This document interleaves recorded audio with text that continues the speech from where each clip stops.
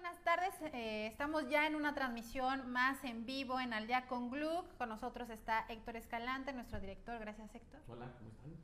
Y Arturo Aguilar, un excelente crítico de cine que también está en nuestra mesa todos los viernes en Al, Día con Gluck, una transmisión en vivo donde tenemos preparados los temas más candentes, hot, este, picosos, cachondos, no, ¿verdad?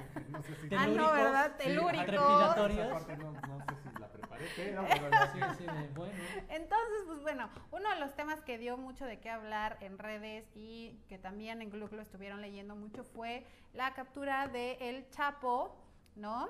Después de dos fugas en, dos este, prisiones de máxima seguridad, ya por fin eh, lo extraditaron a Estados Unidos y le dictan cadena perpetua. ¿Cómo ven este tema? Bueno, pues eh, creo que la cadena perpetua ya se veía venir, ¿no? Eh, y tiene muchas aristas. Por un lado, yo quisiera poner en la mesa que... no fue tan sorprendente. No, no fue tan sorprendente. Es un poco lamentable que finalmente la justicia tenga que venir de Estados Unidos. Eh, porque quiere decir que las instituciones en nuestro país, cualquiera que sea y el gobierno que esté en turno, pues pueden ser corrompidas, tanto que se escapa dos veces de un penal de alta seguridad. Eh, en nuestro país, al final, bueno, el gobierno del expresidente Peña Nieto lo captura y lo primero que hacen como papa caliente es no queremos que se nos vuelva a escapar porque justamente no confiamos en las autoridades de este país y lo mandan a Estados Unidos, cosa que no quería el propio Chapo Guzmán. Chapo Guzmán y bueno, pues creo que era una crónica de una decisión anunciada, sabíamos que era muy poco probable que no le dieran la cadena perpetua. Y, eh, y ahorita traeremos otro análisis, pero vaya, como que quería empezar con eso, no me sorprende, creo que eh, pues es bien merecido, es el personaje más... Eh, fue el personaje más buscado durante años y yo creo que es el narcotraficante después de Pablo Escobar más importante que ha habido en la historia. Y de, los más millonarios también, ¿no? No, varias veces apareció y fue la polémica que despertó en su momento cuando aparecía en las listas de Forbes, precisamente entre los millonarios del mundo, una de las riquezas ilegales, por supuesto, pero al nivel de, pues, ya sabes, grandes empresarios, de, tecnología, de, Slim, de Bill Gates, de Jeff Bezos etcétera. Pero me, me, parece interesante también, de, no hay sorpresa en la resolución, como dices, es la crónica de una sentencia anunciada eh, creo que lo interesante en algún momento, eh, creo que está en el proceso, cuando se llegan a mencionar nombres, por supuesto, como de que si se le pagaba a administraciones como las de Felipe Calderón o Enrique Peña Nieto, o como eh, la negociación, la situación que hubo con el gobierno de Enrique Peña Nieto, donde se escapa dos veces, este, si tanto para Felipe Calderón como con eh, Vicente Fox había algún otro tipo de arreglo. Creo que que se hayan mencionado esos nombres abre avenidas interesantes de investigaciones y lo que sean ahorita ustedes, de cuestiones de justicia, que es lamentable que lleguen desde otra parte, que están pendientes todavía en nuestro país y que por ahí se tienen que obviamente rascar un poco más estas cuestiones y hacia adelante la polémica que está ahorita también muy importante alrededor de ¿Qué va a pasar con todos estos millonarios recursos que van a recuperar las autoridades? El dinero del Chapo, ¿quién se lo debe quedar? Porque obviamente Estados Unidos va a pelear por quedarse por una, con una buena cantidad de este dinero que recuperen. Y por el otro lado, Andrés Manuel López Obrador también ha insistido mucho en los últimos par de días en que se va a pelear por la vía legal que ese dinero corresponde a México y que pues en algo se podrá obviamente ahorita gastar. Bueno, pero también es, eh, comentan que es muy difícil rastrear la fortuna del Chapo porque es tanto el lavado de dinero que se hizo que tiene negocios, eh, farmacias, restaurantes, casas de cambio, que es imposible rastrear, ¿no? De, de dónde, en dónde se limpió tanto dinero. Entonces, pues bueno, es un tema de corrupción grande también, ¿no? El que vemos. Y bueno, también este fue un tema muy comentado que López Obrador, nuestro presidente, dijo que sentía pena, ¿no? Las palabras eh, textuales fue de que sí conmueve la condena del Chapo, ¿no? Que porque, ¿Qué opinan de esta declaración rápidamente? Pues eh, yo lo platicamos antes de comenzar, en esta idea que tiene el presidente de perdonar y de la cartilla moral y un poco de la religión y ahí hace como un, eh, pues un poco un revoltijo de una serie de cosas mucho más morales que legales, desde mi punto de vista, más allá de la desde la posición en, en, como lo dice, ¿no? desde este ánimo de perdón y de que pues es que esto es lo que puede pasar a un narcotraficante y qué pena eh, cómo concluya su vida, creo que sí se le va de la mano pues toda la gente que el capo, el, el, Chapo Guzmán pues afectó, ¿no? Él habla de la mamá del Chapo, pero nunca se preocupa por la mamá, decíamos ahorita de los miles o cientos de miles de mamás que estuvieron involucradas con muerte, que, de gente que, que estaba eh, relacionada con el cártel del Chapo Guzmán y con, la, y con la gente que mataron. Entonces creo que um, a mí no me gustó para, entiendo lo, lo, digamos el fondo, pero no me gustó para nada que fuera empático con alguien que sin duda pues le hizo mucho daño a mucha gente en el país.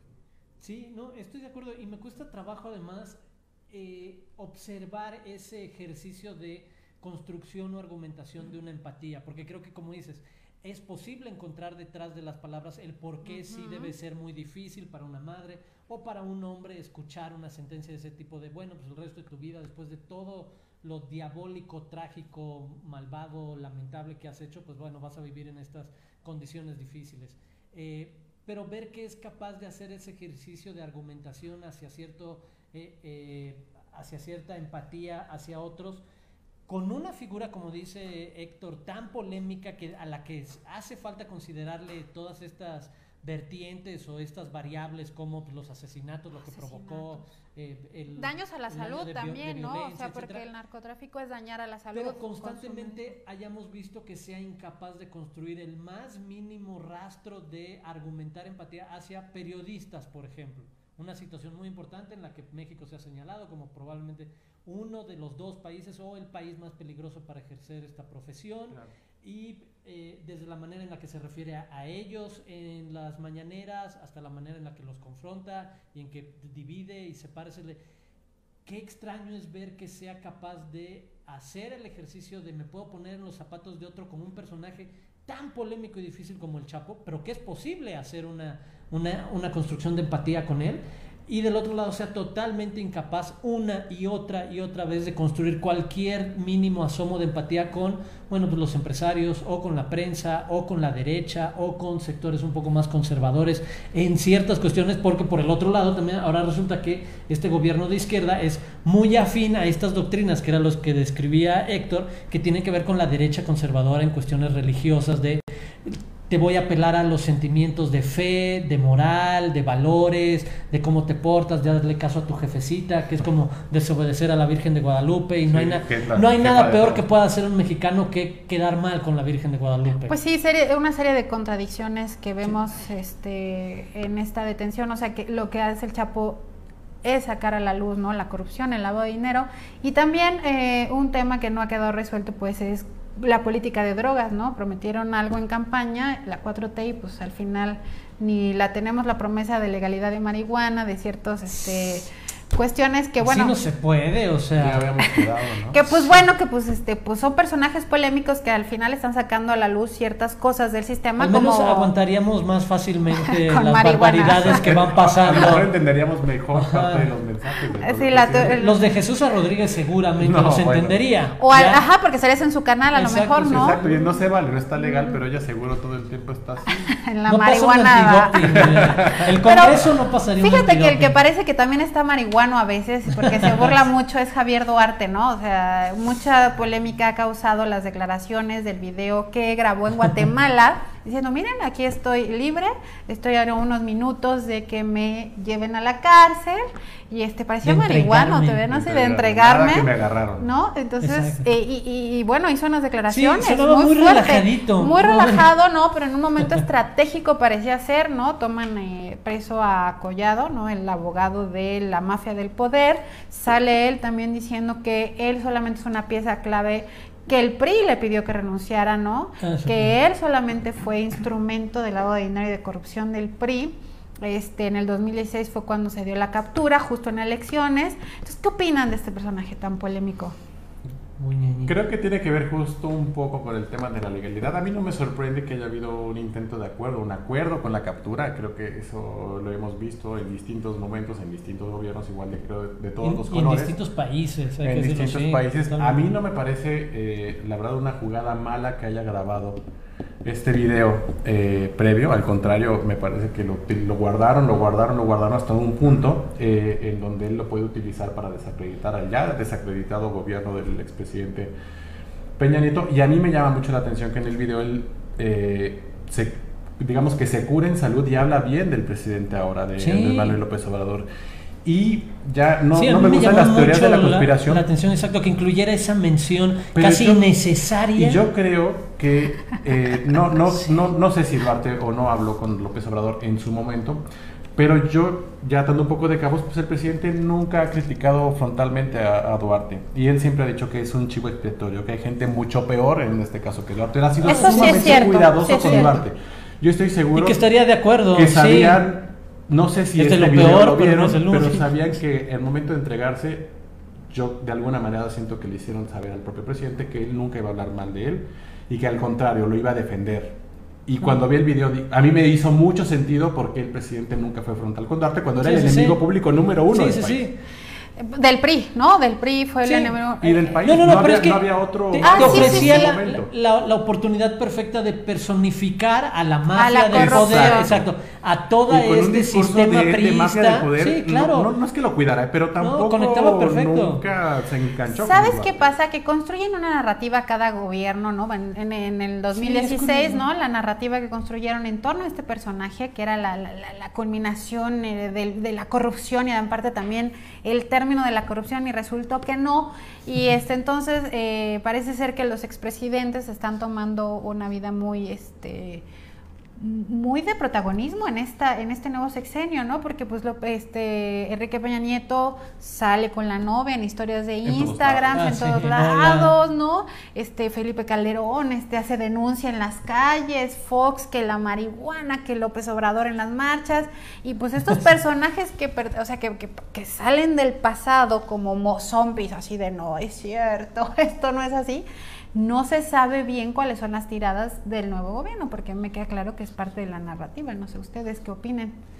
Eh, sí, creo que es parte, además de un escenario muy particular el actual. El de, por supuesto, hay que reconocer que de entrada no habíamos tenido un, una transición de gobierno tan tan contraria tan extrema. Finalmente cuando se pasó del PRI al PAN y después el PAN regresó al PRI, sabíamos que había una transición un poco más fluida en ciertos conceptos económicos, globales, etcétera. No había del todo un choque como el que estamos viviendo ahorita. Y creo que se conjuntaron como tormenta perfecta en el que se tienen que dar todos estos pequeños ingredientes, en que casos de, eh, por ejemplo, justicia internacional, que en México hubieran quedado olvidados, pero que tanto lo del Chapo, en, lo que, en donde se menciona durante el el juicio al expresidente Felipe Calderón, o cuestiones como lo de Odebrecht, también en juicios internacionales donde se menciona a Lozoya y Enrique Peña Nieto, ha hecho que se despierten estos zombies, como dices, que normalmente era una tradición en la que,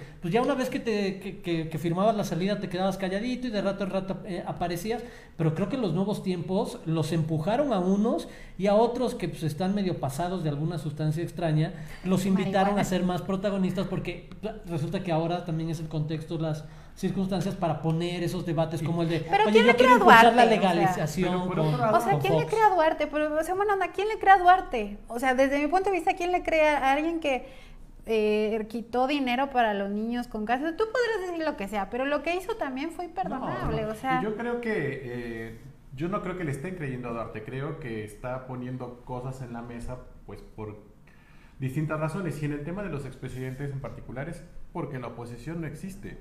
O sea, la oposición, eh, los, los, expresidentes se han convertido en la oposición de este país. En otro momento los expresidentes pues ya estarían en su casa guardados, ¿no? Y hay casos muy particulares, eh, pues el caso de Ernesto Cedillo, el caso del propio Salinas, que si bien es un protagonista constante más por López Obrador que por él mismo. Ah, pues su perfil es infinitamente más bajo que... Exacto, eh, tanto Felipe Calderón como Vicente Fox se han convertido en parte de la oposición del propio López Obrador, pero tiene que ver con que los partidos políticos no han podido crear una oposición ni cercana a, López Obrador. López Obrador va caminando de manera tranquila en la parte política porque no hay quien le contrarreste.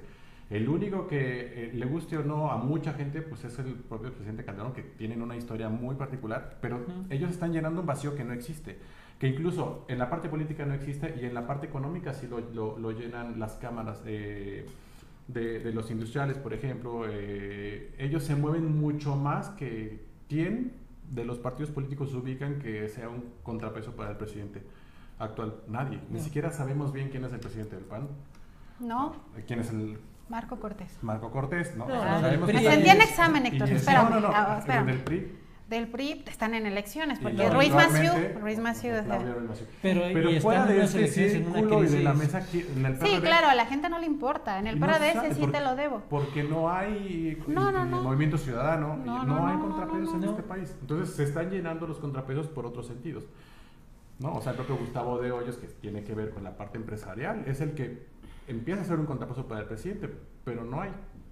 Pues no, Sí. no hay contrapeso y pues parece que la No. política se parece bien. ¿O sí hay? ¿Tú Sí, sí no, no, yo creo que, no, que- querría más bien decir el de, yo sí creo que es posible creerle a... ¿A Duarte? sí, sí, sí. No manches. creo, que, creo que en ciertas cosas Ya no tiene nada que perder. ¿Cómo? ese, ese es el reto mismo de, de un, de un proceso como este, es el de no tiene nada que perder y en algún momento también sabemos que alguien que fue capaz de hacer todo lo que hizo, de desviar recursos de esa manera, la famosa estafa maestra, de ahora sí que crear este super sistema para co- a, a verse de, de dinero, al final del día debe de saber de un montón de cosas secretas Sí, que estoy sería acuerdo. importante conocer. Sí, pero las de- toma a su conveniencia, ¿no? O sea, me parece Como que... con el Chapo, no me No parece... en magnificar a los... Exacto. Sí, pero O no sea, lo podría descartar así el de no, no podemos creerle, no importa que nos venga a proponer como información, cerrémosle la puerta, es el de no, creo que sería interesante dejar abierta la posibilidad de, oye, puede haber otra cosa para llegar quizás al hito histórico de que México se convierta finalmente en un país donde pueda haber un juicio directo, legal, jurídico contra, Contra un ex- presidente. expresidente. Sí, un y creo que esto Que- podría ser la, la hebra. decir la idea, supongo que un poco qué tanto utilizan en su conveniencia. Claro, o sea, es que, es que mira, eh, o sea, lo, lo triste aquí es que cuando tú tomas a un chivo expiatorio, así como los llaman, este, en un gobierno fue para decir, no, pues tenemos que ganar, tiene que ganar José Antonio Mida, hay que, hay que encarcelar a lo que significa la corrupción más podrida del nuevo PRI, ¿no? Pues tómate a este, aunque hayas pactado, o sea, ¿cómo te salvamos, no? Y ahora, ¿para qué lo van a ocupar? O sea, la cuestión aquí es hasta cuándo también un personaje puede servir para manipular la percepción, que eso yo lo que creo, ¿no? No sé si esté bien, si mienta, si no, pero cuando un personaje sirve para manipular la percepción, se sigue cayendo también en la corrupción, ¿no? Eso creo que es algo lamentable y es un tanto como la infidelidad. Una de las notas más leídas que tuvimos en Globo fue el caso de, este, Comunica, ¿cómo se llama este? Luisito Comunica. Luisito Comunica. No Ah. sé por qué les encanta tanto el chisme y, bueno, la verdad es que yo tengo que confesar que yo, yo, yo, yo vi Badaboom, el este, lo de Casi Infieles, porque aquí mis compañeros de Globo me pusieron a los Casi Tenemos que Infieles. entender por qué tiene tanto...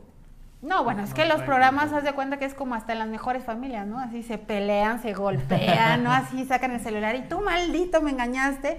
Y pues esta chava, que es la protagonista de este Badaboom, ¿no? Es Lisette Rodríguez, entrevistó a uno de los youtubers, este muy famosos, eh, Ryan se llama, y en el chat que tiene, que Luisito Comunica es uno de sus super amigos, descubrió no Qué la infidelidad del que estaba entrevistando, Sí. sino un chat donde Luisito Comunica decía que se había dado a una chava no medio ebria, que no era la novia, entonces, Sí, o sea, sí. y entonces, pues imagínense, dio mucho de qué hablar. ¿Ustedes qué opinan de la infidelidad?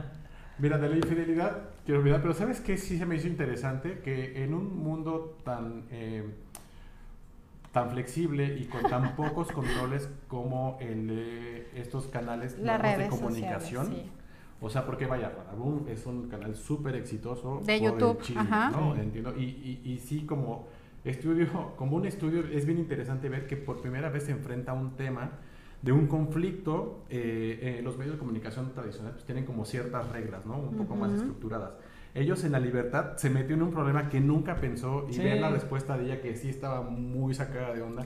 Vaya, eso me- se me hizo bien interesante ver cómo Pues es se que las salió- redes dice, se le sociales, sal- me salió de las o sea, manos. lo que pasa es que las redes sociales son un problema para nosotros mismos de que no sabemos controlar. O sea, yo he visto que gente dice, oye, estoy deprimida y, y el mundo apesta o tú eres un pendejo. O sea, como muy fuerte, ¿no? O sea, eh, estás sacando a relucir cómo ya no eres tú dueño ni siquiera de tus propias infidelidades o no. ¿Qué opinas?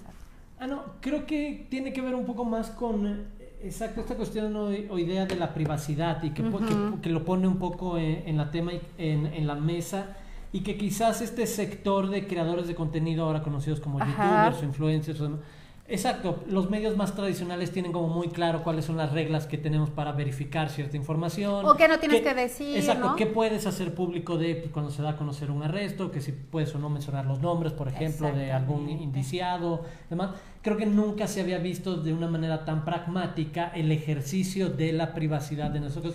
Cuando más se da de una manera tan fortuita, accidental como es el de tú y yo estamos platicando, yo te estoy enseñando un chat, infiel, ¿no? y tú en ese momento simplemente lees y conviertes en público algo que era muy privado, entre amigos, ajá, entre amigos, porque también eres parte del juego de lo, que dices.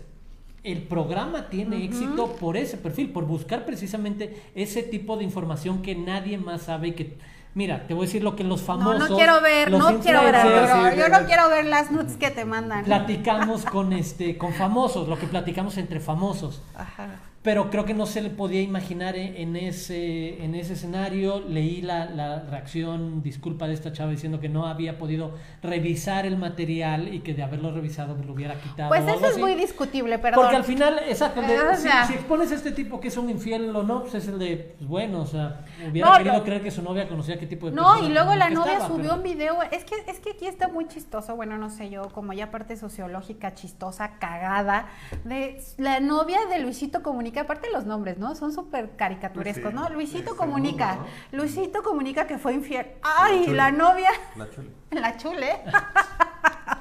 Perdón, pero, están muy exacto, creo que Sale llorando, o sea, se graba llorando. De, sus personajes digitales. Exacto. o sea, ¿qué tanto es verdad, qué tanto es mentira, qué tanto le está dando la gente para entretenerse? Porque otra guerra mediática fue la de Adame y Trejo, que, también porque por, un, por un lado puede ser que como a cualquier pareja sí le pegue que te enteres, que de repente tu güey, tu novio, sí se las da como es famoso. O sea, pero haz de cuenta que yo me llamo la picosita. Pero en una de esas, como eres la picosita, pero en una de esas, como eres la picosita y de ser la picosita depende tu popularidad, en una de esas vas a querer convertir tu drama personal en una ah, historia en la que Exacto, o sea, ese es el tema, ¿no? Ese es el tema, ¿no? De todos estos personajes que viven de que hablen de ellos. Sí. Entonces yo no creo que les, les, haya salido tan mal. No, por eso me parece muy este muy cómico, este yo picosita buscando a Ryan este comunica. Busquen si todavía está disponible arroba la picosita. Ya tenemos aquí a la picosita. Y este y entonces te haces un montaje muy muy muy bueno, le salió muy bueno la verdad,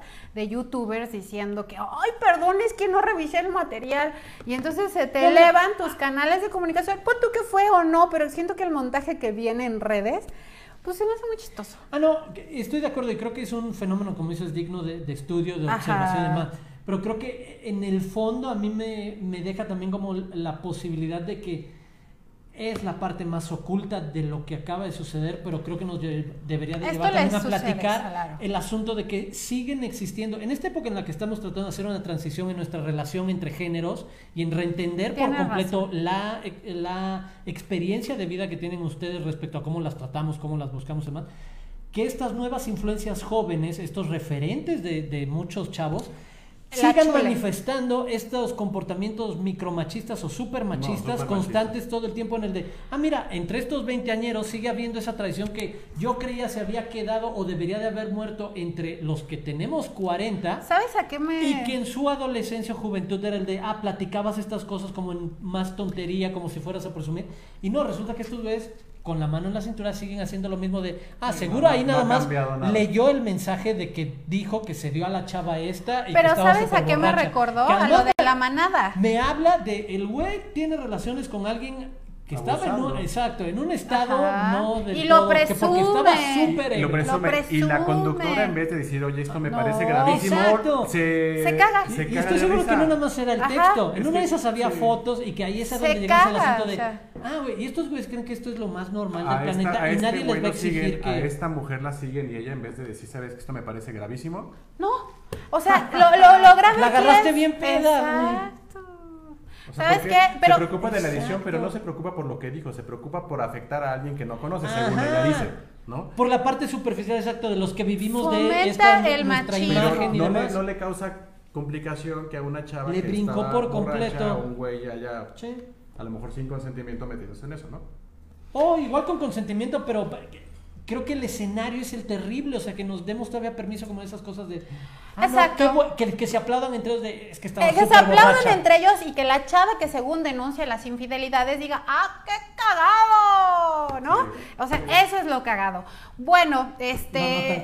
bueno, no, no, ese es, bueno, picosito transmitiendo con ustedes, hay que despedirnos. La verdad es que les invito a que lean el contenido en Gluck, como ven, siempre tenemos las notas más leídas, este GluckMX. Este, les agradecemos muchísimo, los invito a que nos sigan en nuestras redes sociales, GluckMX en Facebook, GluckMX en Twitter, GluckMX en Instagram, GluckMX en YouTube. Y bueno, gracias Héctor Escalante. Gracias a ti, Jimé, gracias Arturo. Gracias. Gracias a ti, Arturo, y gracias a todos ustedes que nos compartan y nos comenten. Nos vemos en la siguiente transmisión.